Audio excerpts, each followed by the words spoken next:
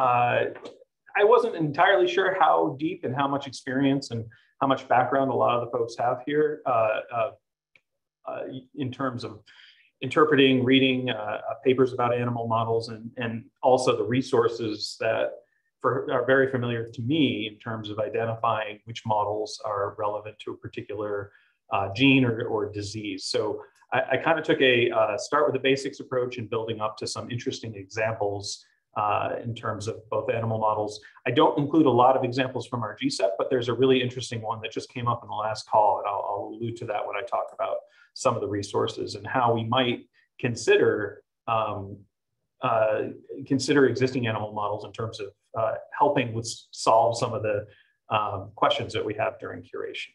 Um, okay, oops, sorry. So what I was going to present to you today was just to start with an, uh, an outline about animal models and some perspective on exactly what what does that mean. I think it, uh, uh, it's it's a term that's thrown about, but I think there are different ways we can think about animal models. It's really important in terms of interpreting uh, uh, how we look at the data that comes from them. Uh, I wanted to also then give you some background about forward and reverse genetics and bring you a little bit of history about mouse modeling in particular. I, found that a lot of people actually don't know the the old school background, and I think it's an interesting it's an inter- it's an interesting topic, but also one that is helpful in terms of uh, uh, interpreting some of the, uh, the, the things you read. Um, a very brief sojourn into modeling technology. It'll be very brief, but I think there's some important points that I'd like to make about different types of approaches that are used. Um, then I want to go into IMPC, which is the International Mouse Phenotyping Consortium, and also Mouse Genome Informatics resources. In my view, these are the key places for you to go and find information. I know in the past you've had people from these two resources come and talk to you, but I want to give you my, my thoughts on that and also an update on, on where those resources stand today. Um, and then I have some really interesting disease model examples that help illustrate some of the points from before. And then finally, if there's time, I'd like to take a tour of, of sort of the challenges, but also the opportunities around genetic context. And at the end, I'll give you some of my thoughts, uh, sort of general pontification about uh, uh, animal models and how we can use them in, in the context of ClinGen curation. Uh, I'd like to start here, and this is something that um, my colleague here at JAX, Rob Burgess, teaches in a course, and it really struck, hit home to me. And, and really, when we think about animal models and mouse models, in particular animal models in general, uh, it's important to think about what, why do we use them and what makes them good? Are they, what is a good model? And, and I think the first point is that all models are just that, they're models. There's no perfect model and we should not expect uh, an avatar of disease. They are tools that have been used to answer specific questions. But you know, there's a few different ways we can think about uh, these existing models and, and how we um, interpret a particular question about uh, causation or the causative etiology of a given uh, variant or, or disease gene. And the first is, uh, first thing we think about is face validity. Is it valid in terms of the, the phenotypes of the human disease? Uh, and there's a couple questions that arise, in my mind at least, uh, uh, when we when we consider this. One is, are the phenotypes that are measured similar? You know, are they actually, is this even possible within a mouse model? Do, do mice have the phenotypes that we care about? And, and uh, if not, are there proxy phenotypes or other molecular signatures that can provide you with the same information regarding face validity that even though the mouse does not look exactly like uh, uh, the human. So can we look for things that provide that corroborating evidence? Um, the second, and this is becoming more and more important because the our engineering capabilities continue to improve, is the construct validity. Does the phenotype happen for the right region, reason? And by that I mean, is the mutation homologous? Uh, is does the molecular mechanisms match, et cetera? So basically, how closely does the allele or mutation appear to reflect the allele or mutation uh, for the specific condition? And, and I'll come back to this in a moment in, in terms of how much this matters for, for curation purposes versus, say, uh, other applications in disease models. And then finally, predictive validity. Uh, does manipulation of the model predict human outcomes? And this is critical for preclinical studies, perhaps not as important uh, for the group here today. Uh, and of course, what are they used for? And as I mentioned, one of the things that we, we clearly care about uh, within this group is validation of the causality of a novel variant of unknown significance or, or a variant uh, that's associated with disease uh, or gene in, in, in, this case as well. Um, obviously, models can be used for understanding biology and serving as a platform uh, for preclinical studies in vivo. Uh, and, and, I think it's important to note that it's rare that a model can serve all purposes. So obviously within the, the ClinGen group, we care mostly, maybe not necessarily a novel of unknown significance, but really can we validate the causality of the gene as related to a particular disease? And this is the area that we focus our attention, which means to some degree, these other elements that when we, we typically think about in terms of building the best model may or may not be particularly relevant. Uh, and I think that's an important thing to think, to keep in mind. Uh, I just put this in here. This is a uh, highly modified version of a paper from Nature Reviews Genetics uh, uh from a couple years ago, a couple year, or a year ago. Um, and, and there's a lot of models. Obviously, I'm going to talk about mice today. And, and what, when we, we try to think about these as, uh, you know, which one is being used is sort of related to uh, sort of the cost benefit and the goals of this particular study. So for example, uh, C. elegans are really simple, they're really cheap to, to manage, uh, and their generation time is fast, et cetera, while mice are much more expensive and take a lot more, uh, take a lot more time generally uh, than these simpler model organisms. But there's uh, uh, potentially, because they're a mammalian system, greater human relevance depending on the gene and the pathway modeled. and so for, for, for that reason, but also because this is where my area of expertise lies, I'm going to focus entirely on, on mouse models for the rest of rest of this presentation. Um, okay, so I'm just going to give you a quick primer, and as I mentioned, some of the backstory or some of the background and how, uh, in terms of the use of uh, mammalian systems such as the mouse. Um, for those of you who don't know, um, uh, uh laboratory mice are actually a, uh, uh, a mix of a variety of, um, of, well, four different specific subspecies of mice uh, uh, that diverged approximately a million years ago uh, into regionally across the globe. And these, uh, the, the key ones are the Mus mus domesticus subspecies, which is the most common one in Western Europe, and the Mus musculus musculus subspecies, which is primarily located in Eastern Europe, Russia, and Northern China. And there's certainly contribution from both uh, Castaneus molossinus subspecies as well. These were all kept by what we what we refer to as uh, mouse fanciers. This was actually what they referred to themselves as, who who uh, kept mice and, and bred mice because they had interesting uh, phenotypic characteristics uh, such as coat color and, and, and shape and size, etc. And these were the source of the laboratory mouse we, we use today, but they do come from all these different subspecies. Uh, and this is just another way to, to illustrate this and that the final uh, laboratory mouse that we have, as I mentioned, is primarily domesticus, which is represented actually by a wild derived strain, that uh, an inbred strain that you can use today, 68%, uh, uh, uh, and smaller contributions from the other from the other subspecies. But what's interesting is that the musculus subspecies, even though it's uh, quite close in terms of its uh, physical location to the uh, uh, to domesticus is a smaller proportion than you might expect. So there's quite a bit of genetic diversity that derives from the, not only the diversity within this one subspecies, but from these additional subspecies. So the, the older way that we, as I mentioned, you know, the earlier models were all fancy mice. These were mice that had phenotypic characteristics that were interesting to people who kept mice. Uh, but this uh, phenotype-driven approach was, was the standard approach to identifying novel mutations of human, that are relevant to human disease for, for many years. And this includes both uh, spontaneous mutations and chemical mutagenesis screens such as EMU. Uh, and these, of course, are what we refer to as uh, forward genetics. We, we look for the phenotype first, and then we use genetic mapping and sequencing to identify the gene of interest. While reverse direct genetics is, is certainly much more common and popular today, and this is more gene driven. It includes transgenic models, targeted mutations, and now, of course, gene editing to create specific mutations of interest of a, of a given investigator. There's, there's a lot of value in both of these approaches. Um, obviously, if we're, we're talking about engineering a, a human disease model, gene driven makes the most sense. However, in many cases, uh, what nature provides is, is, actually incredibly informative.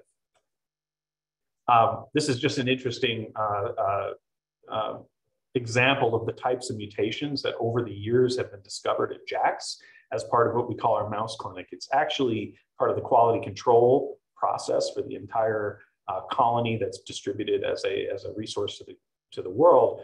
Uh, and that a large percentage of it are things that perhaps not surprisingly are relatively simple for us to see. So for example, behavior abnormalities, a colonist looking in a cage will see an abnormally behaving mouse.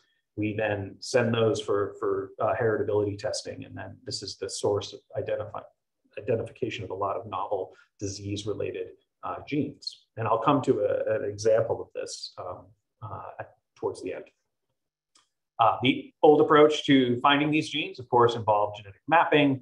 Uh, we, we have the, of course, the advantage of actually being able to structure our crosses however we like.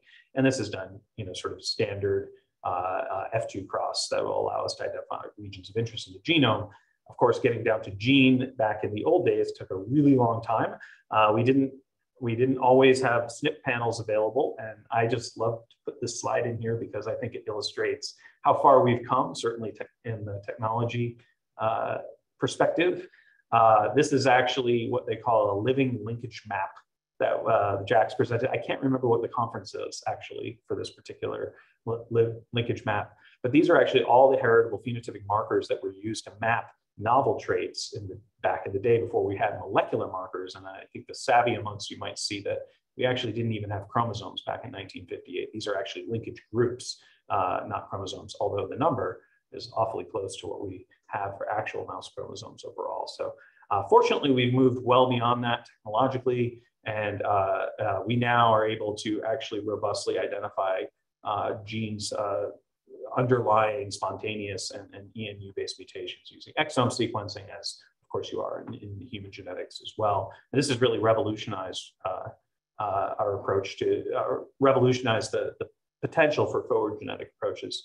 I will say though that the timing of this was really poor. There were a lot of great ENU screens going on prior to the innovations that allowed us to do exome sequencing. And so I think um, the, the, the, technologies didn't quite align perfectly, although there are some, and some great uh, uh, forward genetic screens, Bruce Beutler, for example, uh, that have gone on over the years since then. And of course, uh, technology is still improving. Not only can we find point mutations, but Laura Reinhold, my colleague here at JAX, and others are developing methods very much similar to what's going on in the human field of divining uh, uh, the actual structural mutations that underlie a lot of these mutations from the Illumina sequencing itself. So, uh, but I think most of the things you will encounter uh, as curators will be engineered mouse models. So I just wanted to briefly go through this. Um, there's a number of different types of models. Uh, I think a lot of you are very well aware. Uh, I don't want to belabor this or, or, get too remedial here in terms of the technology, but I think there's a couple points I'd like to make along the way. So obviously the oldest uh, approach uh, is the transgenic models. Uh, there are knockout, knock-in, conditional, and many more. And I'm going to go through these quickly here. So transgenes, of course, are, are the oldest technology that we have at our disposal. Uh, they have a number of specific elements, but overall, the, the goal here is to express a gene of interest, whether that's a disease gene or a, or a reporter gene, et cetera. Uh, and it does so using a promoter uh, and, and, sometimes some other elements that drive the expression the best as, uh, as one can predict to a particular, uh, within a particular uh, expression domain that's relevant. Uh, a couple things to note here is that these are typically small. Uh, there are back transgenics, but these are typically small and, and they are random. So, um, and I'll come back to that in a moment. Uh, so the uses here is I, this is the oldest model for disease model engineering. And I, again, I have a great example of this where things have not added up as are, not worked out as well as people had originally hoped. They're also used as reporters for gene expression, as I mentioned. They're extremely highly utilized as tools for CRE drivers. Uh, they allow for temporal expression, uh, spatial gene expression. Um, and they are, in many cases, uh, uh, used for overexpression of disease alleles to build what we would call disease models. And these include human back transgenics. But I'd like to at least suggest that these, these methods and these models that are in high use today, for example, Alzheimer's disease research, have a lot of challenges associated with them, and a lot of people are trying to move away from them. And this is this is due, in fact, to their uh, uh, poor performance in terms of translatability uh, and building therapeutics. And, and there's a lot of reasons for this. And uh, for any given model, the reasons that they don't work out are, are complex, but these are some of the challenges that we face when we're dealing with transgenes. Um, the first is that, as I mentioned, integration is random, and the context in which these integrations occurs do matter. Uh, integration, and I'm going to show you an illustration of this, is often accompanied by uh, structural variations in the genome. Uh, and this is, these can be complex uh, or, or, relatively simple deletions. Uh, and, and along with this, they can interrupt and delete endogenous genes. And, and I think this is an important point to consider when, when thinking about whether or not a given transgene is actually uh, a disease model gene. You've put a gene in there and you overexpress it, but what have you done to the genome? Uh, and, and which event is actually causing the phenotype of interest? Um, in some cases, the copy number is high. You're basically massively overexpressing these, and these can be unstable, and you lose the phenotype. And you may question, what does it mean to overexpress something at an extremely high level? What does that mean in terms of disease consequences? Uh, BACs solve some of this, but there are a limited number of elements that are included in a transgene. Um, uh, so there can be unexpected expression outcomes. And, and finally, the number of limited applications uh, are limited to primarily overexpression. So obviously targeted precise integration offers many advantages that. I'll talk about that more. Uh, this is just an illustration of what we found. We, we were working with um, another group that had come developed a technology that we thought would be actually quite good at identifying transgene integration sites, which historically have actually been quite difficult to identify using inverse PCR and other methods because of the multi-copy nature of the integration. And what we found was actually somewhat surprising. We were really successful. We, found, we targeted about 40 of these and really found the integration of all of them. What was really surprising to us um, was that not only were there fairly frequent structural variations, in fact, large structural variations of megabase size deletions accompanying the integration, but these were often genic. They integrated either within an exon or within an intron. And in retrospect, this does make some sense to us that these are areas that are permissible for gene expression, but it is a, a cautionary tale about how you interpret the results of a, of a given transgenic line, whether if it's related to disease models or if it's being related to a disease phenotype, sorry. Um, engineered models, by contrast, they are targeted. They're not random. They're, they're specifically engineered to target a particular locus in the genome. Um, this means the expression is typically uh, closer to endogenous levels. Um, the engineering technology, it allows for a huge range of allele types and it's really limited to the imagination. Uh, we can basically engineer almost any uh, technology where we begin to run into challenges at the multi-hundred KB size of, of engineering, but really most, most smaller scale engineering is simple. Uh, and CRISPR-Cas9 uh, and uh, technologies open the door to a wide range of strain backgrounds and other model organisms. So we're not limited to a, a, a specific set of mouse strains and mouse um, backgrounds overall. Um, these are just sort of, this is just an illustration of the types of alleles we can generate um, uh, and, and, what the, you know, how, what we refer to them as. Uh, so obviously we can make knockouts, we can remove an exon and, or an entire gene and, and delete and knock out its function. Uh, more often, and perhaps more relevant to this group, we can make a human equivalent knock-in. By that I mean identify an orthologous uh, residue within an exon uh, or in within a gene, and, and basically recapitulate the human, uh, usually the human amino acid change specifically within that exon. And that's relatively straightforward, particularly with CRISPR to do. Um, we can go further, and sometimes this is important, particularly for generating preclinical models. We can humanize a great the knock into a greater extent. For example, replacing the entire uh, exon 3 with a human exon 3 such that the surrounding sequences are identical to the human. Uh, we can even replace the entire gene uh, in some cases uh, with, a, with a human gene.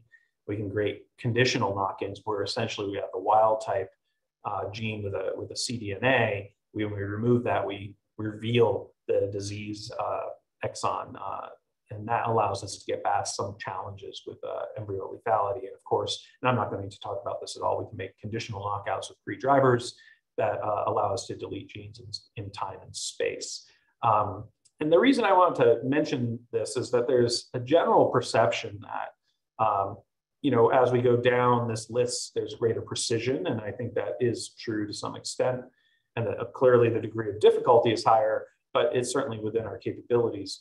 But the question is, is always the assumption that each is better uh, as, you, as you become more precise. And, and I'd like to say that that's not necessarily so. I think we have to look at what the question is in order to, to uh, select the best model. Now, obviously, if you're making something that's an IND enabling uh, preclinical model, you may and your, and your therapeutic approach is an antisense oligonucleotide, you're going to want something that has more human relevant sequences in, in the, around the mutation. But if you're asking the question, is this disease gene or this allele associated with, um, uh, with, with a particular phenotype, a knockout for loss of function, or perhaps a knock-in if we predict gain of function may be sufficient. And in fact, some of these models can be more challenging because you're mixing and matching human elements that may not be compatible with, say, a protein uh, interaction network, et cetera. So uh, uh, don't necessarily assume more precise or more advanced, I guess, is better. And I, I, I, this is just to reiterate that point. You know, it's the question is, as you're doing your curation, is the construct validity actually critical? Can a knockout actually answer the question? Uh, however, I would say that the full allelic series is often helpful in establishing the genotype-phenotype relationship, particularly in the case of loss of function missense mutations that perhaps are not complete loss of function, having a missense and a knockout to show sort of the, the increase in phenotypic severity provides great corroboration uh, that, the, that the gene is involved. Um, what, uh, two other key things that I think um, need to be considered is, are the key phenotypes examined in a particular paper? We can make the right construct, but if they didn't look for the phenotype that's a particular question in your, in your curation, I think uh, uh, oftentimes it's not. And I think the ascertainment bias is quite common. Uh, and I'll come back to this because I think G, the GCEPs and, the, ClinGen have a, the right approach on this. Uh, and finally, what phenotypes are effectively modeled in the mouse? In some cases, the phenotype may not be something that um, we can even really effectively measure uh, in a mouse model. We can do more than some model organisms, but it, it, there are cases where it's very difficult. Okay, so I'm going to transition here, talk about model resources. I think these are things that you will actually access uh, regularly, or I would advise that you access re regularly uh, in order to, to look and see what's available. Um, I wanted to start out, and, and this is a little bit self-serving. This is a project I've worked on for a number of years uh, in terms of building resources that uh, are, are, structured to interrogate the entire genome. This is um, just an illustration of the timeline uh, of really what our mouse engineering capabilities have led to. Uh, if we think back, the first knockout mouse was back in uh, 1989. We were using spontaneous and ENU mutations, as I mentioned, for many years before this, but 1989 was the first knockout mouse. It did take a, quite a bit of time before this ramped up, uh, but of course, uh, uh, in the early 2000s, a large-scale initiative was launched to, to target the entire uh, genome because it, it, it, became clear that this was not only feasible, but would yield uh, many insights into, into the underlying causes of disease, but also just gene function generally. And so I'm going to tell you about some of these resources because I think you're going to encounter them more and more as these models get out into the scientific community. Um, just so you, uh, for those of you who aren't aware, the knockout mouse phenotyping program, or, or COMP2 as we call it, uh, is part of this international effort to generate phenotypic null allele for every protein coding gene in the genome. This is the NIH funded component to that effort overall. A few key features I'd like, I'd like to mention. Uh, one is that this is being done on a uniform genetic background. Uh, I'll come back to this at the end. There are, there's bonus, there's pluses and minuses to this. The uniformity allows us to reduce the noise that comes from uh, uh, sort of segregating genetic backgrounds, but it limits potentially the generalizability of our results. Um, the other key thing, and I'm going to go into this more because you're going to see these, uh, uh, are the, the, defined validated alleles that are generated. Um, these are, are very standardized, so it's really simple to understand what exactly is being done. Uh, and then also, uh, this also comes with standard phenotyping protocols. Because this can't be done in one center, uh, the, the data is, is uniform across the consortium as much as that is possible. Two other key things uh, that, uh, that two other key principles, I guess, of the program are, are the rapid data release through mousephenotype.org, and I'll point this out as a resource for you, uh, and also the open availability of the mouse model resources themselves. Less important to this group, but certainly important to the community. Uh, these are two things that, of course, are challenging when we wait for individual investigators to generate this baseline information about genes. Uh, these two things don't, don't always happen the way we wish them to happen. So uh, the COMP program is three centers. Uh, there's, there's been two phases thus far. You can see this one, the current phase is almost done. Our group has generated, uh, or, the NIH funded groups have generated about 5,500 knockouts. Uh, working with our international partners, the goal is to complete the genome, and we're actually applying for the final phase of this project right now. I mentioned an international group overall. You can see it's all over the world. Uh, it was led initially by a lot of groups in Europe, but our colleagues in Asia have really uh, started to, to ramp up their uh, activities as well, and also other parts of the world as well.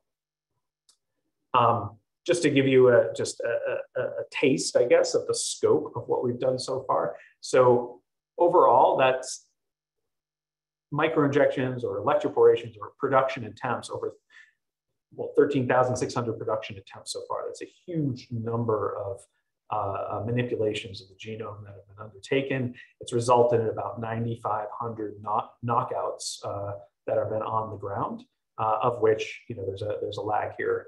Uh, about 7,500 genes have been phenotyped completely. Uh, and this data release 13, so these are come out in these periodic data releases, about 7,300 lines, of course, tons of data points, lots of images and so forth.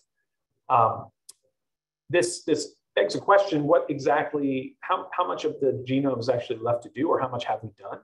So uh, my colleague Kevin Peterson here at JAX and I have recently kind of, we wanted to answer this question, we really what's left in the genome. And if we calculate the number, or we, we actually identify the number of knockouts that have been made by the community, uh, those that have been made by the IMPC and those that have where we overlap to some degree, although we endeavor not to overlap. You can see using CRISPR-Cas9, there's very little overlap overall. Uh, what we find is that um, if we count only mouse human orthologs, which relevant to human disease, I would argue that that, that makes sense. Um, there's actually only 3,300, 3,400 genes re remaining in the genome that have yet to be targeted, which I think is quite remarkable. This is just with knockouts. There are additional alleles out there for some of these genes, although I would say the vast majority fall into this category. It is interesting that our colleagues decided to knock out 786 uh, uh, mouse-specific genes or genes without a clear one-to-one -one human ortholog. I'd be curious to investigate that a little further. But I think the point I'd like to make is that the knockout resources are nearly complete, and those are really valuable. Those will be really valuable information for you in your curation. Um, I'd like to spend a few minutes here on the alleles. I think this is a, while the, I talked about the standardization and uh, uh, the, the transparency that the IMPC provides as a, as a resource, the one thing I will say, and questions I get all the time, are about the alleles because they're complicated and they're complicated to understand. So I, I found uh, at a Cold Spring Harbor course that people found this very valuable to kind of go through the structure of the, of the comp alleles um, or the IMPC alleles. So Two of them are relatively straightforward. So one is, and, and you don't see a lot of these, there's about 3,800, I think, total from uh, Regeneron Corporation has a technology known as Velocigene that they've used to generate what they call a definitive null, which is a knockout of the entire coding sequence. In all cases, they're knocking in these LAC-Z markers, but we've deleted all the endogenous exons. And so, um, so that is pretty simple to understand, start to stop in for the vast majority of these genes uh, with a LAC-Z marker.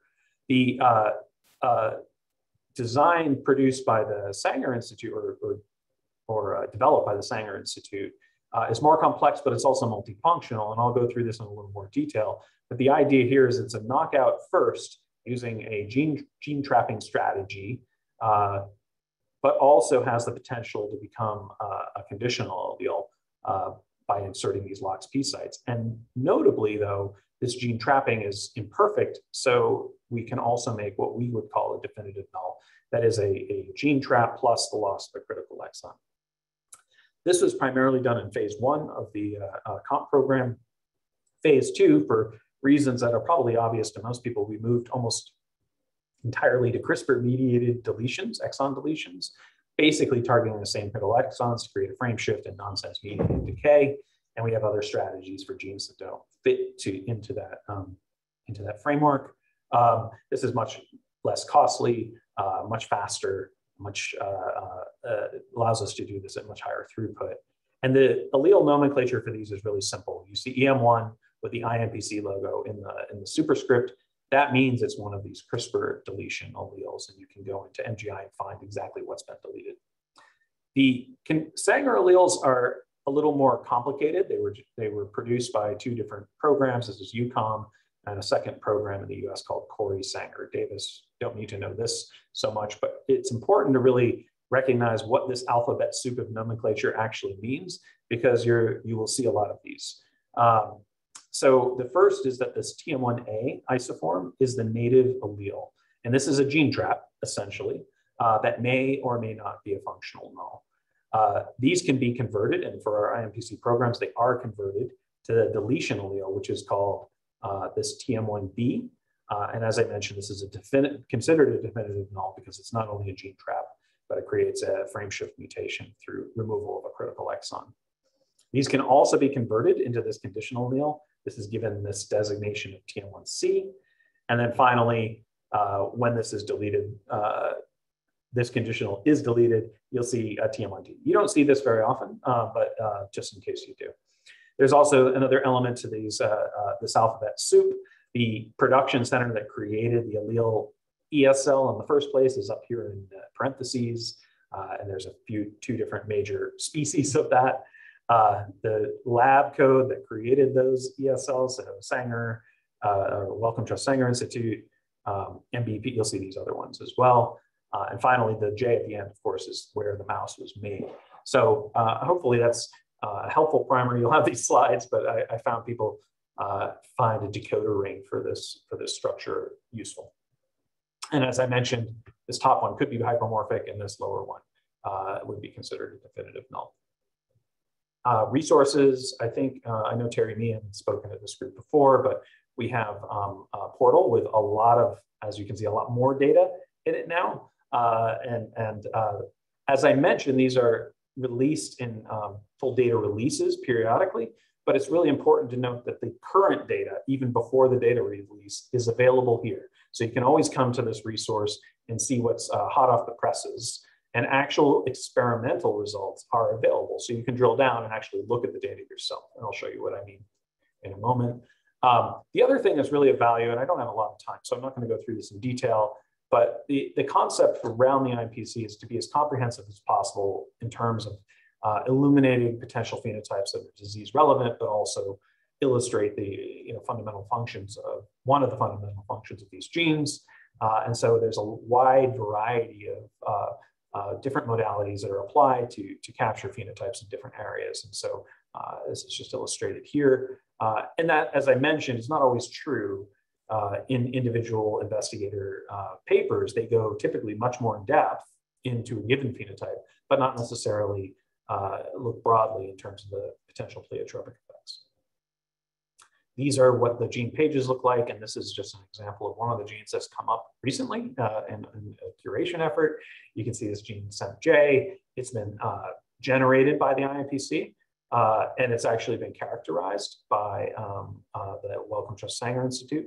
I don't know why NOVA data is available for viability. These are viable. Um, at least the, uh, the TM1A allele is, and it is important to note which alleles been phenotyped and what's great is you can see both the p-value for individual uh, uh, phenotype uh, assertions, but you can actually go in here and find these data as well. Um, similarly, the data are available in MGI and all the IMPC results at each data release are, are released to MGI. And, and in my view, MGI should actually be your first stop when you're looking for is there a mouse model of, of my given disease? And there's a few different places you can go. Obviously, you search in here, you get to the gene, and you see some information. What's interesting is they even uh, identify the potential human disease uh, associations as well. Uh, but it takes a little learning, a little experience to navigate MGI, but once you do it, it's really straightforward.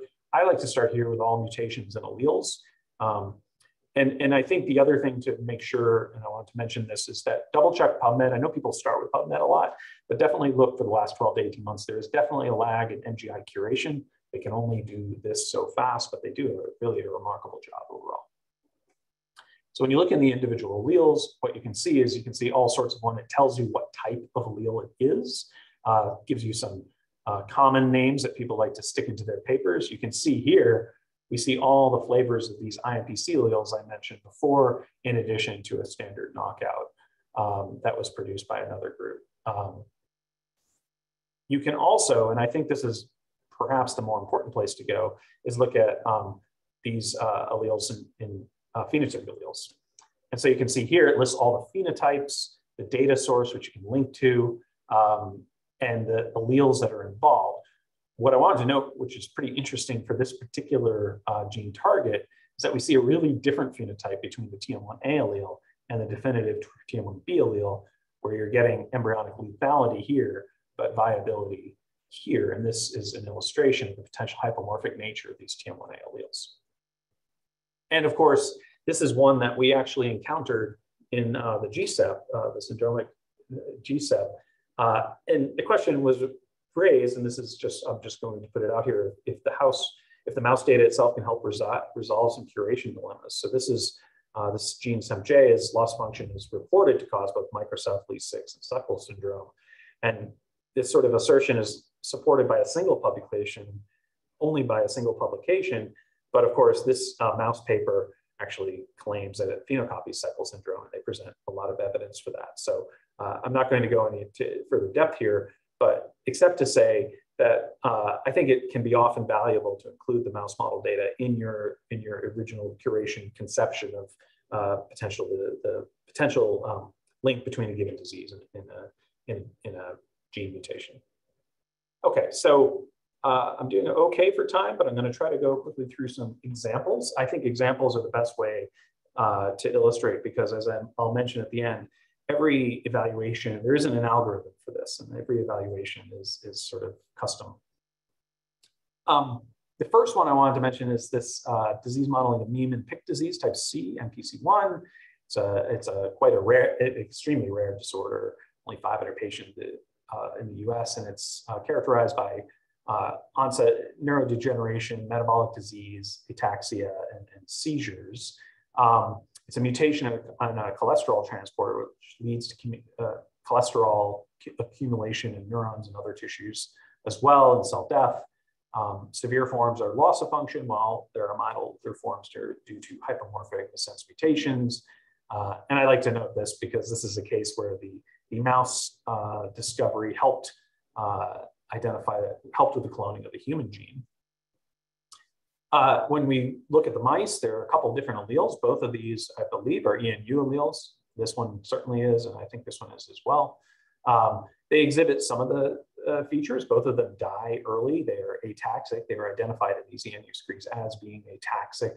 They uh, exhibit significant loss of function in terms of protein. Uh, this is just a Western for NPC1. You can see the mutants, whether it's the NIH or the NMF mutant, are both uh, either uh, completely loss of function or mostly loss of function.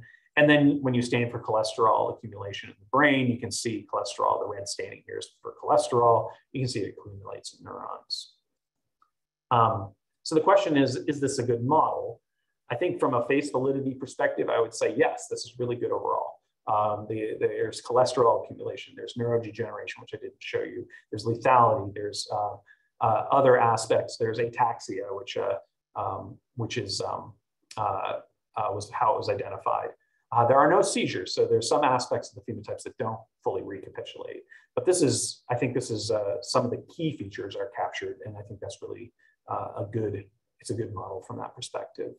Uh, construct validity, and this is where people might question it because these are spontaneous or, in this case, ENU-induced mutations that are identified. Uh, in that screen, but they're loss of function mutations. And those are loss of function mutations in both mouse and human.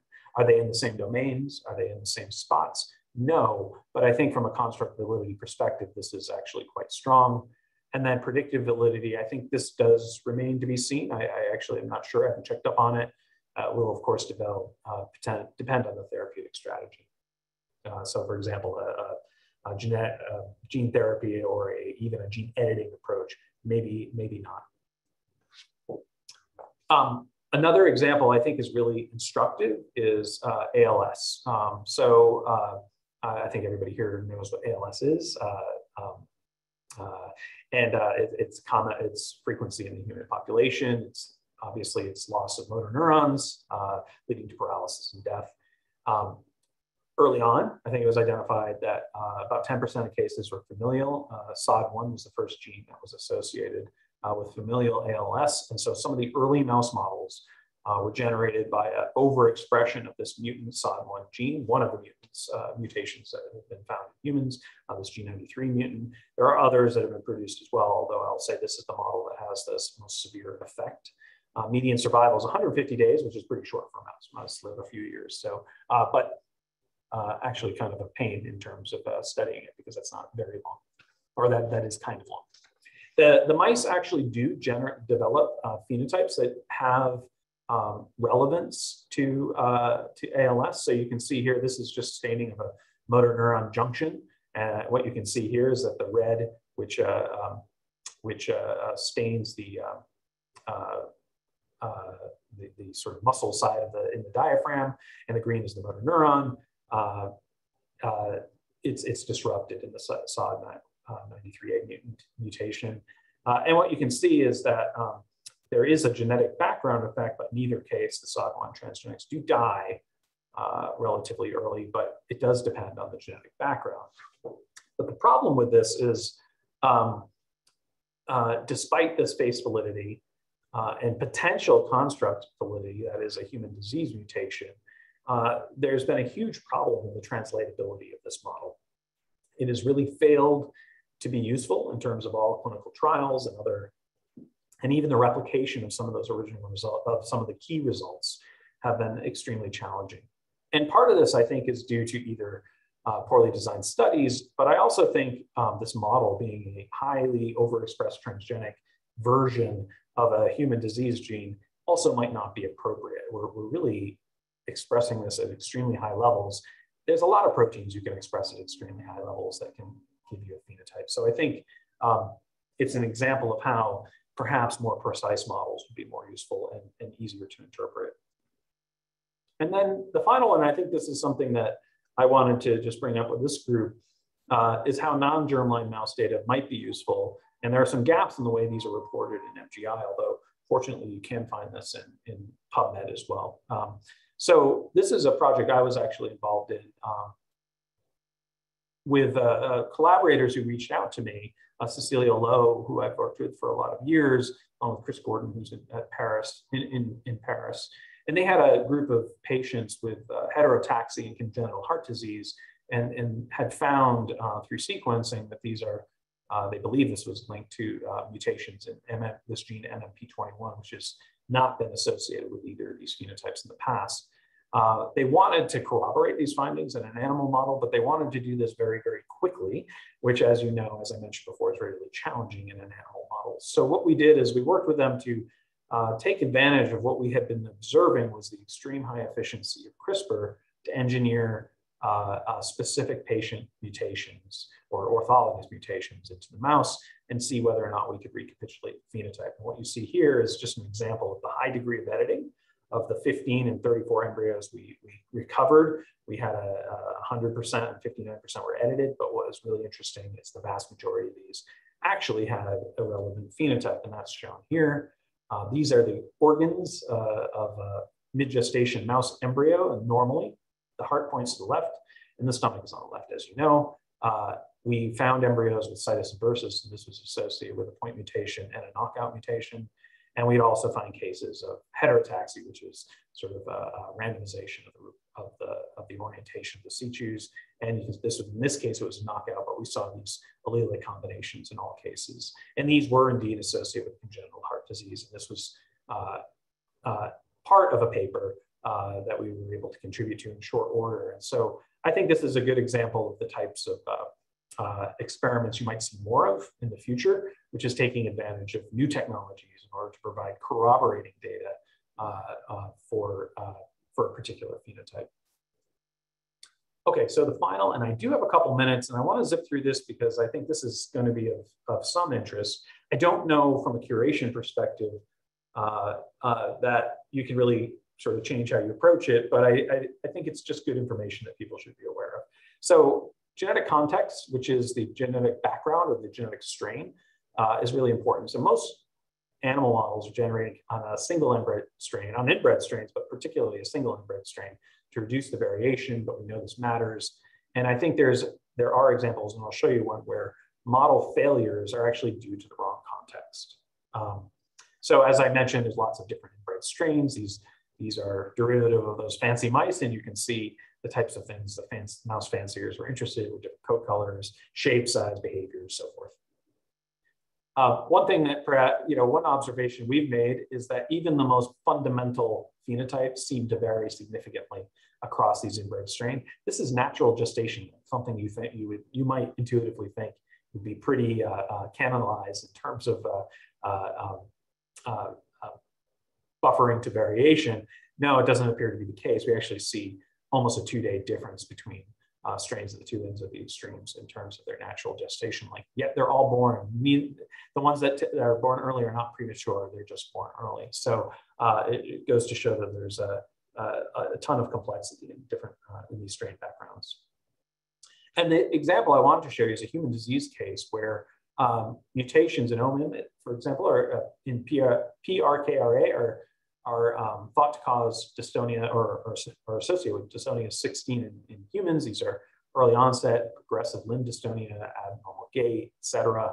Uh, and these are um, caused by a, a frame shift recessive, recessive mutations in PRKRA. But the first four mouse alleles that we identified as spontaneous mutants were, well, they were little ears. They had none of these other features. They, they showed no abnormalities. They lived a long life. They had little ears, and that was it.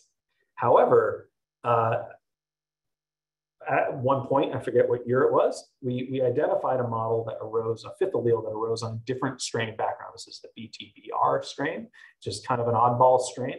Um, and sure enough, they had these kinky tails, they had dystonia paralysis, it was progressive, and they died by three weeks. They had motor neuron loss, loss and they had the craniofacial, uh, craniofacial dysmorphologies as well. Um, and uh, in fact, they, the kinky tails were due to this dystonia because after they were euthanized, they, the, the tails would relax. So it's an example where we began to, the specific human relevant phenotype emerged when we modified the genetic background. And in this case, nature modified it for us. This is a spontaneous mutation that occurred on this background.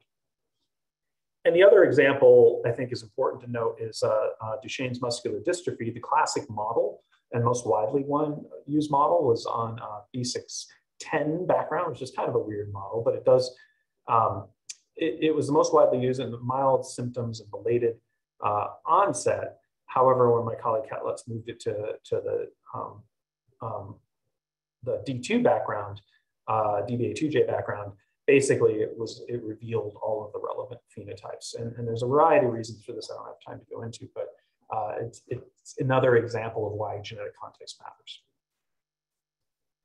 Okay, so finally, and I, I finish not too late, um, just some final thoughts. And, and as I mentioned before, I, I, really don't think there's an algorithm for evaluating mouse evidence. Each review is bespoke. You have to kind of look at it, but use these sort of thoughts and principles and resources I've mentioned along the way. I think they can, uh, I think they can be really valuable early on in sort of the, the sleuthing of these uh, curations, uh, not just necessarily as the, the checkbox that we add later, but that's just my perspective.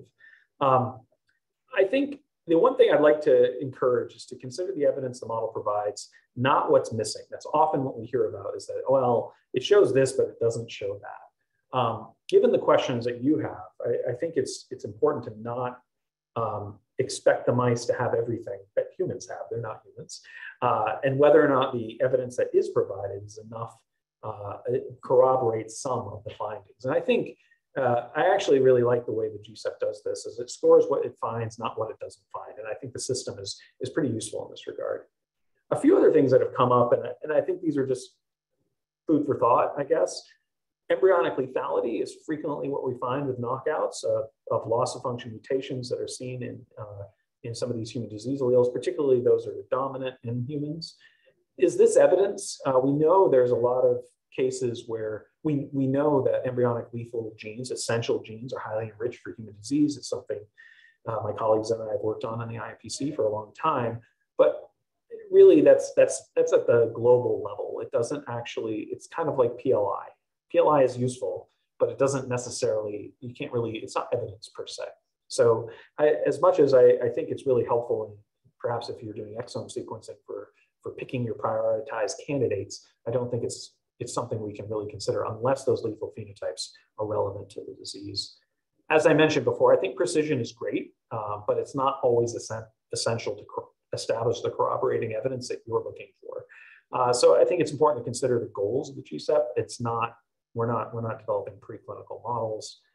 And then the final thing, and this occurred to me while I was putting this together, is that really the, the really fabulous curation work that each and all of you do um, in my view, is identifying gaps. Uh, and this comes up in the calls that we have where the animal model evidence is either missing or it's incomplete or it's lacking.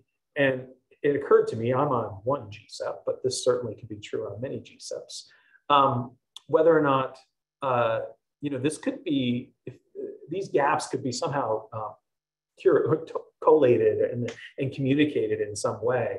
Because I think the mouse community or the animal modeling community generally would love to know where those gaps are, where the where the easy wins are in terms of generating additional useful evidence or uh, uh, models that um, you know ultimately could become uh, more preclinically relevant in the future. So uh, you know we'll, we find these things and then we say, okay, well that would be a great one for mouse modeling, but how is that how is that captured and could that be captured by this group and, and communicated to the wider scientific community? So um, with that, I'm just going to stop there and, and ask if there's any uh, questions. And uh, thanks for thanks for listening to my tour of and potpourri of mouse genetics. Well, that was wonderful. Thank you so much, uh, Dr. Murray. Um, I see we do have a question uh, from Deb. Um, how do you know which background is best? And is there any background checker? Uh, for example, never do X phenotype on Y background. Um, papers that have it are questionable, etc. Yeah, that's that's a that's a really great question, and and it's one that we're pondering ourselves now because we're part of a program to um, to develop precision models. We have a new grant to develop these precision models, and we you know, our, our default is to go through and, and engineer them on Black 6 because it's standardized and we have context with other knockouts. But which one to pick is hard. There are um, certain phenotypes that we know are sensitized, but, but I would say as a general rule, the answer is we don't know. And, and one of the goals that we have as part of this uh, Precision Genetics Center grant is actually to develop some methods to help to help us with that question. Um, it, it's even harder to know if um, somebody who's engineered it and published it, et cetera, picked the right background, if what they're missing is because it's the wrong background. But there are certain phenotypic features uh, that are uh, make certain uh, strains good models. For example, I'll just give you one example. Uh, DBA2J is a model of glaucoma. And so uh, engineering alleles related to glaucoma on the DBA2J would probably be beneficial. Um, and then we know certain strains, for example, have age-related hearing loss or other sorts of things that you should maybe avoid if you're looking for deafness genes, if you're looking to model deafness genes. So we have a few of those, but I think um, a, a broader framework for making that decision about which background is not there. I, I think it's not there yet, but it is, it, I would say is an incredibly important question as we're beginning to ramp up our, our interest and capabilities in modeling more and more rare uh, disease genes uh, or even common disease genes. And yeah, it's a really sort of interesting question. And as we were sort of talking about this, I did wonder, you know, do these differences in the impact of of the background inform in any way the disease process? Like, I mean, are there protective factors in those mice that are not showing the phenotype versus those that do? And maybe that's too big a question for now, but I was just curious if that's oh, looking. Absolutely. So modifier genetics is is extremely fruitful area, um, and uh, some of my colleagues have done amazing work in looking. So uh, Sue Ackerman, who was a former faculty here at Jackson, is now in uh, U, UC uh, uh, San Diego. Uh, really had an amazing story over the last several years of not only finding the underlying causes of a, of a, of a um, cere cerebellar degeneration disease, so an ataxia gene, but also the modifier of that showing that it was the tRNA uh, was the modifier. So modifier genetics is, is really um, uh, been extremely fruitful, but it's a ton of work, right? Mm-hmm. So um, can we use that, you know, modifier screens if we know this is a disease model, and we'd love to find why, uh, you know, um, suppressive factors or resilience factors, et cetera. That's definitely a great area of interest. My colleague Catherine Kazarowski here at uh, JAX is, is using some models of uh, Alzheimer's disease, which I, I, think she concedes are imperfect because they are the transgenic models. But her question is really interesting is if you look at uh, diverse genetic backgrounds, can you identify resilience factors to uh, the, the, the AD phenotypes that these models do have? Uh, and has found some really interesting hits overall. So it is definitely from a research perspective, an area of uh, that can be that can be quite fruitful. But these are big projects; they are not, yeah. not small projects, but they can be very clinically relevant super interesting. Um, so I realize we're at the top of the hour, but does anyone have any other quick questions for Dr. Murray? No. All right, well, thank you so much, Dr. Murray. This was just so uh, helpful to go through all this information and just amazing to see how much progress has been made by IMPC and, and COMP on you know looking at all these different disease genes. So um, just really appreciate you being here today. So thank Happy you so much. Happy to do it. If people have questions um, about you know particularly IMPC resources, um, uh, but mouse modeling in general, happy to answer any questions uh, that people might that would come up. Great.